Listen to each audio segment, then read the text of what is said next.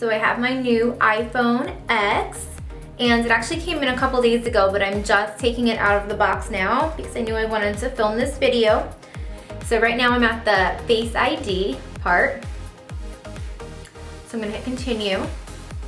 How to set up Face ID, first position your face in the camera frame, then move your head in a circle to show all angles of your face. Move your head slowly to complete the circle. Oh, just one time, slowly. Okay, Face ID is now set up. Continue. So today I'm going to be using the Graftobian foundation. Next I'm going to be going in with my Graftobian concealer palette.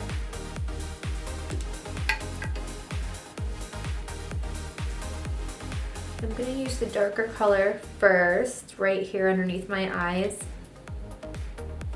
I need some extra coverage to cover any blueness that shows through. And then I'm going to use one of the lighter colors just to start the contour on my nose. And taking that all the way out to highlight my cheekbones. And then just going back in with the foundation brush to buff that all in. Next I'm going to be going in with my Anastasia Beverly Hills contour kit. And just taking that contour color on my cheekbones, on my forehead, and down the sides of my nose. And I'm also to be putting some contour color underneath my lip and right here on the side. Just a little trick I do to make my lips appear fuller. Like I have some lip injections. And again, just blending everything out. My contour, always just blend it in an upwards motion. Like that. So you don't want to pull your cheekbone down, you want to lift it up. Step up, up, up. And for your forehead, you just want to bring it right back, right into your hairline. And for my nose contour, I don't really want to use this big brush. So I'm just going to use my fingers today. I put a lot of product on. I want to make sure the center stays nice and light. It's really only on the sides. So next I'm going to be going in with my RCMA No Color Powder. I'm just going to be doing like a light dusting of that over my whole face just to set all of the cream products before they move around. And now for powder, bronzer, and contour. I'm to be bronzing with the Benefit Hoola and then contouring with the Anastasia Beverly Hills Contour Kit. So first with Hoola, just bronzing up my cheekbones. I'm gonna do a lot of my forehead. And then I also do like my neck and like right under my chin. Just make sure everything blends good. My neck is actually pretty tan right now because I'm spray tanned. And now switching over to the contour kit and a smaller brush using the middle bottom shade and just really using that to create a shadow and carve out my cheekbones. And add a little bit of that on my forehead too. And then switching to an eyeshadow brush and just going over my nose contour. Now I'm going to be going in back in with some more RCMA No Color Powder. I'm just going to use this Beauty Blender right here. And just going to be baking my under eyes.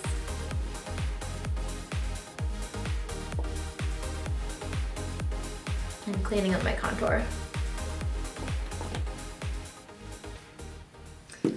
So I'm just gonna let that sit there while I move on to my eyeshadow. So for my eyeshadow, first I'm going to be priming my eyelids with my Maybelline Fit Me Concealer. And then just using a brush to kind of blend that out. And then dipping back into that no color powder. And just setting that concealer. I feel bad because if you just watched my last video with the um, Huda Beauty palette, it did affect my foundation routine and it's literally the same because it's only like two days apart. So I feel like I should just film like eyeshadow looks for the most part because that's always different and only film like a foundation routine like once a month or something when I've tried enough new products and like updated the routine. So for eyeshadow today, gonna use the Huda Beauty palette again as well just because there's so many colors in here that I really haven't got to play with yet and it's so pretty that I kind of always gravitate towards the same ones.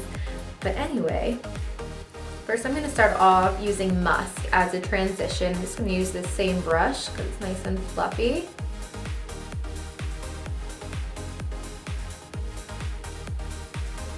Think I've used Eden every single time I've used this palette as my transition shade because I normally like a little bit more orangey and warm.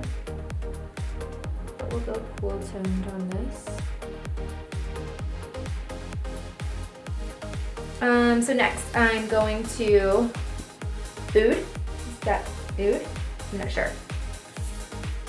I'm just putting that right in my crease, kind of just working it in a V motion up into the crease and down onto my lash line, up onto the crease, down onto the lash line.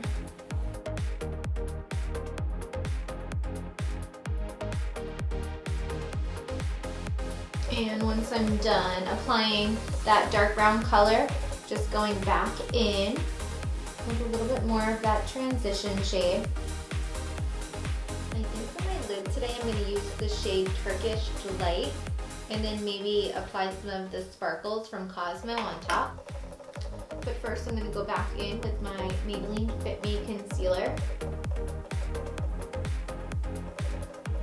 And just shape out exactly where I want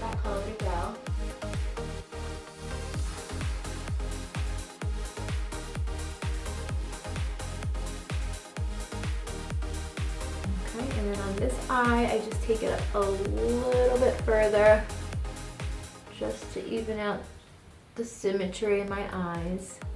Open this eye up a little bit. Now I want to deepen up my um, outer portion of my eye a little bit more and there isn't any darker color in this palette so I'm just going to be switching back to the rose gold palette and I'm just to be picking up a little bit of that black color and then just taking that black truffle color just on the lid not bringing it up to the crease now for the bottom I'm to be picking up that dark brown oud color and just carrying that on the bottom portion of the outer portion of my bottom lid. And then switching back to the transition brush in that transition color. And just running that over my whole bottom lash line. Now for liner, I'm going to be using my favorite liner, which is the NYC Liquid Liner. And First just lining my lash line and then next drawing the wing. And then connecting the two and just filling that in.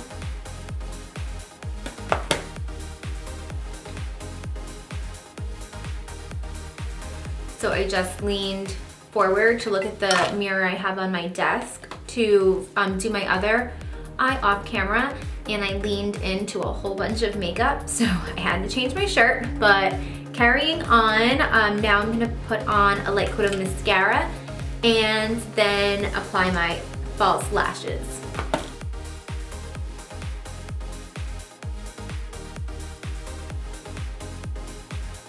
For lashes, I always use my clear duo glue and just apply a layer on each lash. So they have a minute to like wait while you're putting glue on the other lash. And then I just pull from up to down while looking down into a mirror so I can see my top lash line pretty well. And stick it on the outside and then on the inside. Wow, and these lashes are so pretty. These lashes are from Lash Kitty, by the way, what I just do with the box.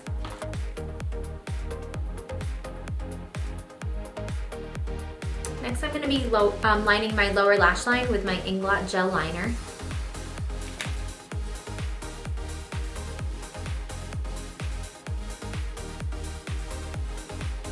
Now I'm gonna be brushing away all of the excess powder that I have on my face.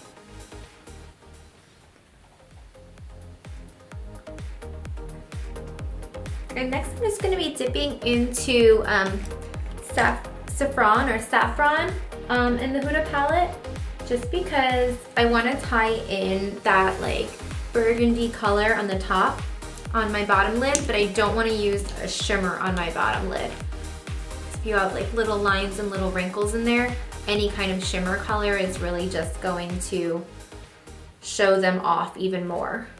And then I'm just gonna take this color and run it under like the middle part of my eye and then drag whatever's left on the brush out to blend on the sides. I really like how that looks. And then now I'm just gonna go back in with a little bit more mascara. I'm using the Ready to Wear Beauty Mascara. For lip color today, I'm gonna be using the NYX Liquid Suede in Club Hopper.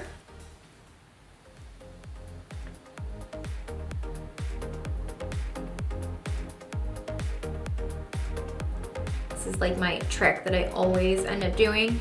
Makes your lips look bigger too if you have a lighter color on the inside and then the darker on the outside. So I'm just gonna put like a nudish color on the inside of my lips and it's just gonna make this a lot more wearable. So I grabbed this um, liquid lipstick.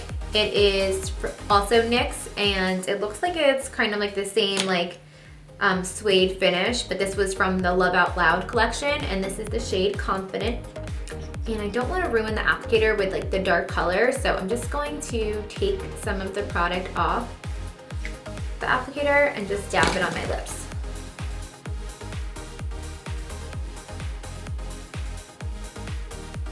So I already like it more but it looks like I have like a really dark lip liner on with nude lipstick and we can't have that. So I'm just gonna go in with a little bit more of this darker color and warm up the sides so it's more of an ombre rather than like a lip liner look. Now it's just a little too like cool toned or purple. So now I'm gonna go in also with NYX Cosmetics in the shade Alabama. It's a lipstick. And I'm just gonna dab on some of this red because I wanted it to be more of like a rusty red, like a really great fall color. Okay, so believe it or not, that is exactly the color I wanted. It's pretty much back to that um, original Club Hopper shade. It just has just a little bit more wearable for me. I don't know, we just added a little dimension in it. And um, definitely like the red undertones gives me like that more of a fall holiday look that I wanted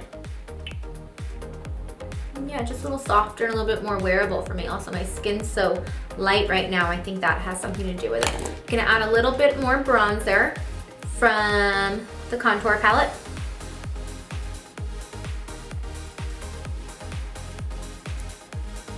And then we'll highlight and we'll be done. For highlight today, I'm gonna be using the Glow Kit and I'm gonna be using the shade Tourmaline. Tourmaline? I don't know why I can't pronounce any makeup shade anymore at all. All right, so that's it for this makeup look today. So now getting my um, new iPhone X and I just got a little shake. Does that mean it didn't recognize me? I gotta shake again. Look. It won't focus.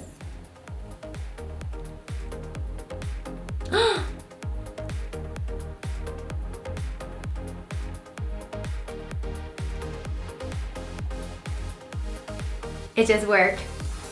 I didn't hit that button. Okay, it just worked. Swipe up to unlock.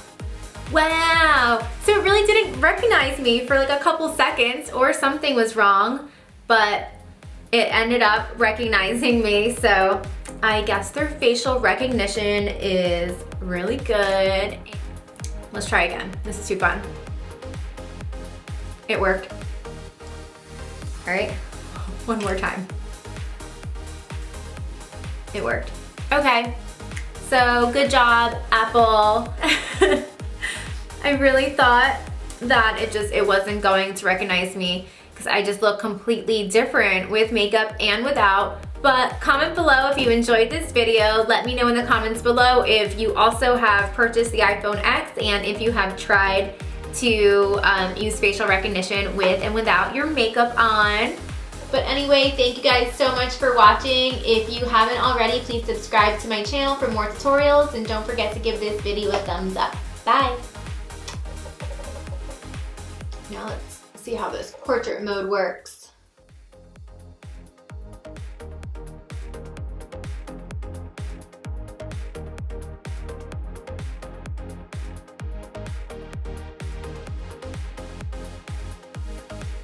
natural light, studio light. The studio light is not cute. Way too much contrast. For studio light, they should just, Apple, I hope you're listening, they should just um, put like a flashlight on the front and shine that extra flashlight on you. Contour light, looks just like studio light. I don't like it. Natural it is. Right, see how those look. Thick.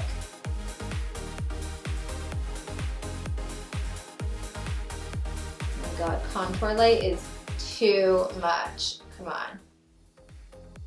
One more. What else we got here? Studio light, contour light, stage light.